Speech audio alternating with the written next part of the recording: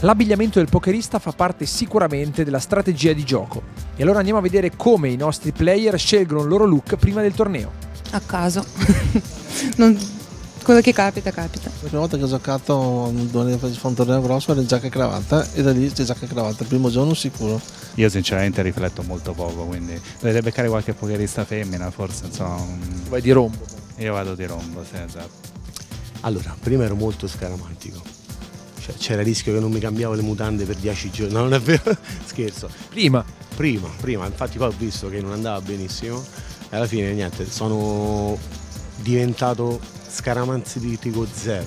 Però l'unica cosa che ho fatto terzo un mese fa lì al mini PT, quindi avevo questa, l'unica cosa che mi sono riportato è la sciarpa. I giochi d'estate ancora con la sciarpa. Sempre. Cerco di adeguarmi all'ambiente dove sono. Qua a Venezia è un casino di un certo prestigio, io sono qua di vicino e quindi questo è l'abbigliamento giusto. Che proprio questa felpa oggi?